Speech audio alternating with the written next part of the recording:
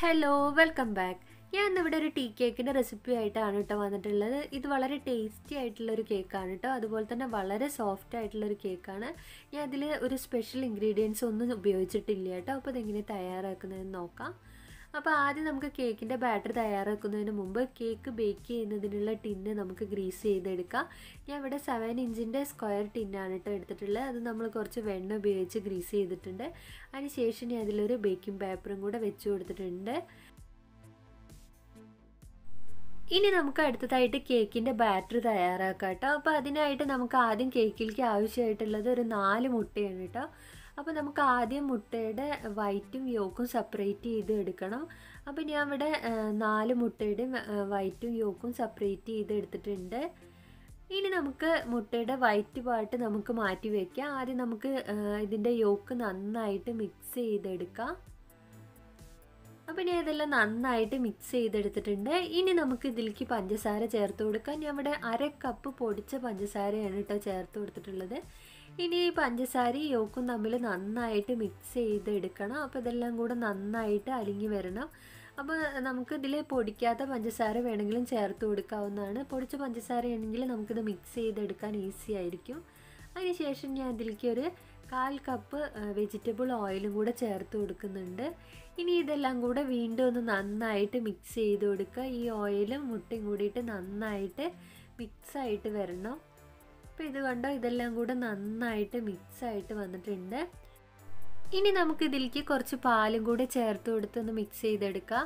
അപ്പം ഞാൻ ഇവിടെ ഒരു കാൽ കപ്പ് പാലാണ് കേട്ടോ എടുത്തിട്ടുള്ളത്. പാൽ നമ്മൾ എടുക്കുമ്പോൾ എപ്പോഴും റൂം ടെമ്പറേച്ചറിലുള്ള പാൽ തന്നെ എടുക്കാൻ ശ്രദ്ധിക്കണം.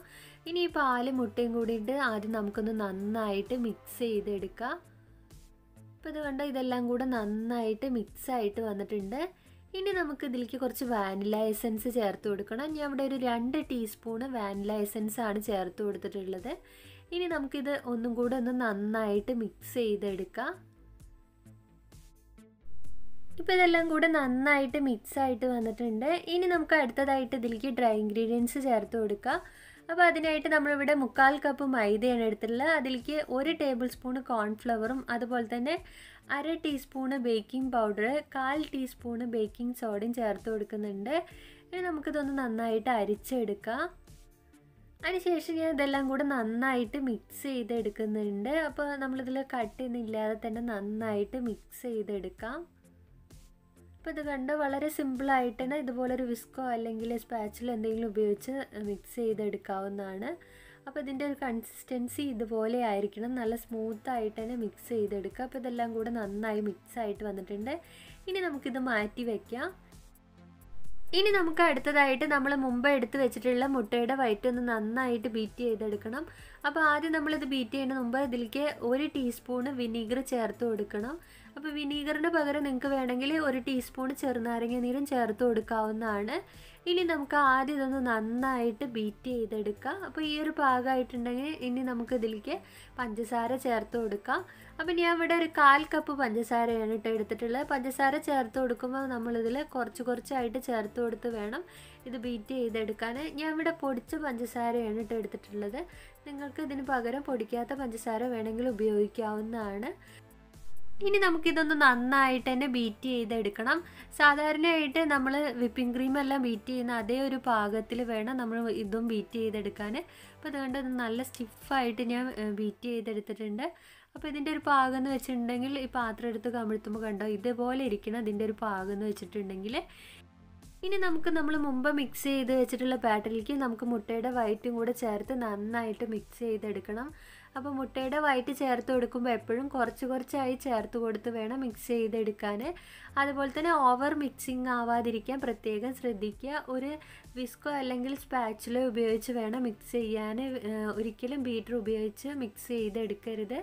അപ്പോൾ ഞാൻ ഇതുപോലെ ഇത് നന്നായിട്ട് സ്മൂത്തായിട്ട് ഇവിടെ മിക്സ് ചെയ്തെടുക്കുന്നുണ്ട്. ഇനി നമുക്ക് ഇതിലേക്ക് ഒരു മൂന്ന് തുള്ളി ഫുഡ് കളർ ചേർത്ത് കൊടുക്കുക ഞാൻ ഇവിടെ യെല്ലോ ഫുഡ് കളറാണ് ചേർത്ത് കൊടുത്തിട്ടുള്ളത്. ഇത് ഓപ്ഷനിലാണ്. നിങ്ങൾക്ക് ഇഷ്ടമുണ്ടെങ്കിൽ മാത്രം ചേർത്ത് കൊടുത്താൽ മതി.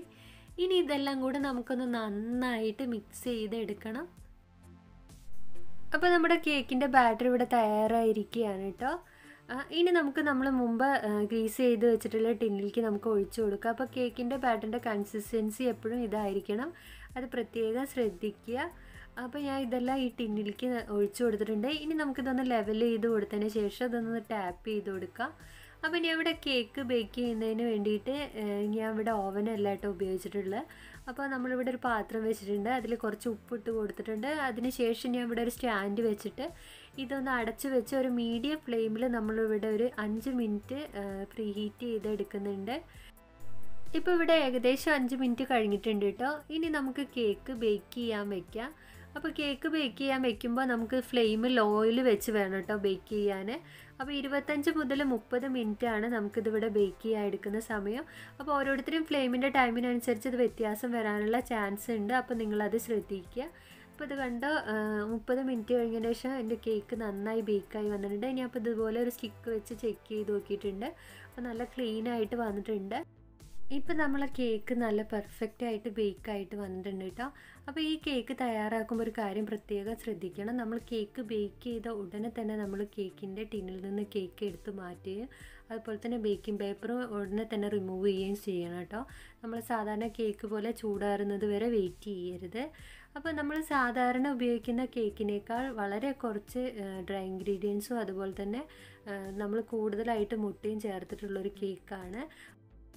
അതുപോലെ തന്നെ നമ്മളിവിടെ മുട്ടയുടെ വൈറ്റും യോക്കും സെപ്പറേറ്റ് ആയിട്ട് മിക്സ് ചെയ്തെടുത്തിട്ട് തയ്യാറാക്കിയിട്ടുള്ളൊരു കേക്കാണ് അതുകൊണ്ട് തന്നെ ഈ കേക്കിന്റെ ടേസ്റ്റ് വളരെ ഡിഫറെന്റ് ആണ്. വളരെ ടേസ്റ്റി ആയിട്ടുള്ളൊരു കേക്കാണ് അതുപോലെ തന്നെ വളരെ സോഫ്റ്റ് ആണ്. ഇത് കണ്ടോ? പഞ്ഞി പോലെ സോഫ്റ്റ് ആയിട്ടുള്ളൊരു കേക്കാണ് അപ്പോൾ നിങ്ങളെല്ലാവരും ഇത് വീട്ടിൽ ട്രൈ ചെയ്ത് നോക്കുക. അപ്പോൾ നമുക്ക് വീണ്ടും പുതിയൊരു വിഭവമായിട്ട് കാണാം.